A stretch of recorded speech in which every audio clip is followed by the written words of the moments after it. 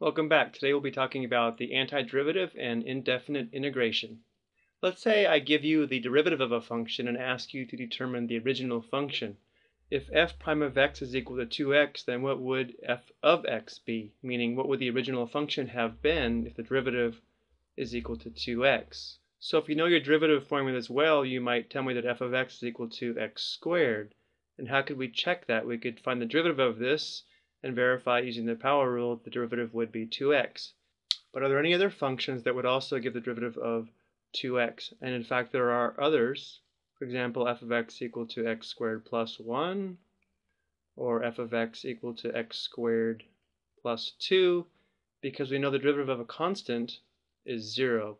So in fact, there would be an infinite number of functions who have the derivative equal to 2x. Along the same lines, if I told you the derivative of f of x was equal to 3x squared, you could tell me that the function could have been x cubed, or x cubed plus 1, or in fact x cubed plus any constant. So in fact what we do in these cases we put plus c to represent any constant. Okay, so let's formalize the definition of the antiderivative. The reverse of differentiating is anti-differentiating, and the result is called the antiderivative. So we were just finding antiderivatives. A function big f of x is the antiderivative of f on an interval i if the derivative of big F is equal to the original function f of x. You can represent the entire family of antiderivatives of a function by adding a constant to a known antiderivative. This is the plus c that we were just talking about. So if big f of x is the antiderivative of f of x, then the family of antiderivatives would be given as big F of x plus c. The process of anti-differentiation is often called integration or indefinite integration. To indicate that the antiderivative of f of x equals 3x squared is equal to big F of x equals x cubed plus c, we write, we write it using this notation. We say the antiderivative or indefinite integral of 3x squared with respect to x is equal to x cubed plus c. This symbol here is called the integral sign. This function f of x is called the integrand, and this dx on the end represents the variable of integration. Of course, big F of x is our antiderivative, and c is the constant of integration. Now there are a bunch of formulas to help us find antiderivatives or to perform indefinite integration, and they're all listed here and what you'll hopefully notice is that these are pretty much the opposite of the differentiation process. You may want to pause the video here to review all of these.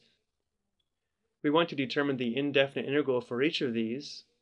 So the first thing, if we wish, we can break this up into three different integrals. Now often we'll skip this first step and just integrate each term individually, but for this first example I, will show this. So now what we're going to do is apply the power rule of integration. So we're going to add 1 to the exponent. 3 plus 1 would give us 4, and then divide by the new exponent. Plus 2 times, this is x to the first, so we add 1 to get x to the second, and then we divide by 2. Minus the antiderivative of any constant is going to be the constant times x, so 1x, or just x. And we can't forget our plus c, our constant of integration. Now we need to kind of clean this up a little bit, and we're done. Here the 2 and the 2 simplify.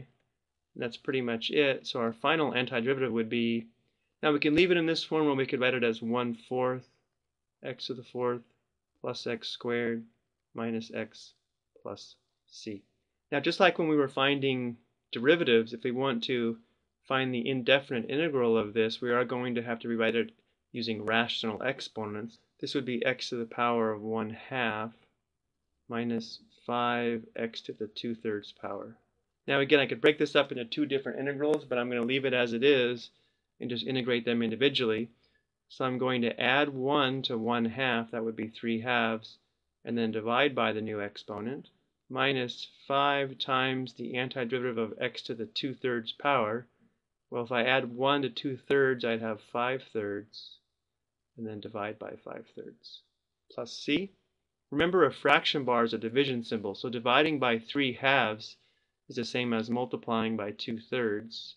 So in the second term, instead of dividing by 5 thirds, we'll multiply by 3 fifths and simplify where we can. This 5 and this 5 will simplify. So our antiderivative would be 2 thirds x to the power of 3 halves minus 3x to the 5 thirds power plus c. Let's try a couple more. So on this first problem, we might want to rewrite this as 3 times x to the power of negative 2 minus, this would be x to the power of negative 1 with respects to x. Let's go ahead and apply the power rule and see what happens. Now remember, we are adding 1 to the exponent and then dividing by the new exponent. Here's our rule on the right. So we're going to have 3 times x to the power of negative 2 plus 1 be negative 1 divided by negative 1 minus, now in this one if we try to apply the power rule we would add 1 and get an exponent of 0 and then divide by 0. Of course we can't divide by 0 so that tells us we're using the wrong formula. The antiderivative of 1 over x or x to the power of negative 1 is natural log x.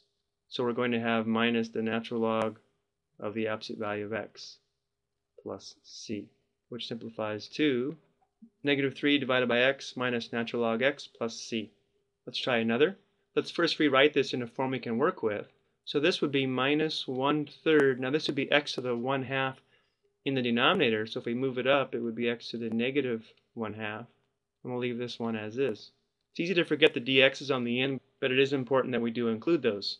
Let's go ahead and apply the power rule. Add 1 to the exponent, divide by the new exponent. If we add 1 to negative 1 half, we'll have x to the 1 half divided by 1 half plus 2 fifths times x to the Adding 1 to negative 4 thirds would be a negative 1 third divided by negative 1 third plus c. Okay, let's rewrite this. Instead of dividing by the fractions, we'll multiply by the reciprocals. So dividing by 1 half is the same as multiplying by 2. Dividing by negative 1 third would be the same as multiplying by negative 3.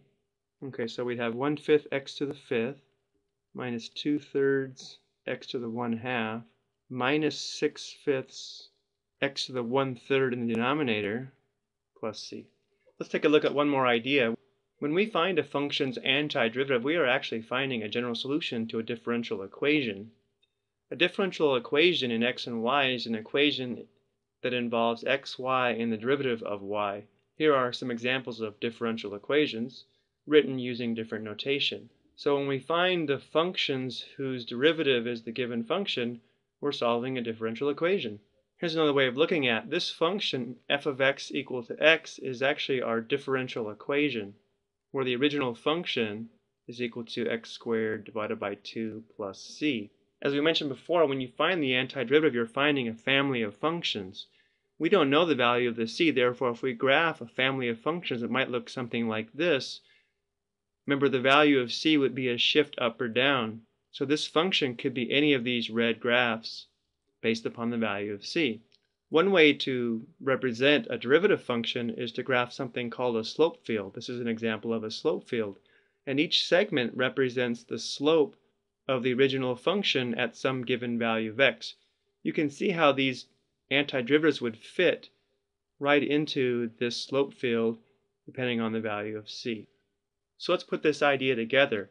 We want to solve the differential equation by finding the particular solution given the initial condition. So we have the derivative function, we want to find the original function, and we're given that the original function is equal to negative 2 when x is equal to 2. So to find the original function f of x, we need to find the antiderivative of x minus 3 with respects to x. Well, this would be equal to x squared divided by 2 minus 3x plus c. But we're given extra information to find the value of c. We're told that f of 2 is equal to negative 2. So if we replace x with 2, notice that we only have one unknown, so we can find the value of the constant. So solving this, we would have 2 minus 6 plus c is equal to negative 2. Here we'd have a negative 4, so adding 4 to both sides, we have c equal to positive 2. Therefore, our particular solution, meaning the exact function we're looking for, would be equal to 1 half x squared minus 3x plus 2. Let's take a look at a graph to verify this. This graph shows the point we were given, and this blue graph is this particular solution that we found So instead of having a family of functions, we have a specific function or a particular solution to that differential equation. Now we should note that we can use this method to find the cost, revenue, and profit functions from the marginal cost, marginal revenue, and marginal profit functions. I hope that helps, and thank you for watching.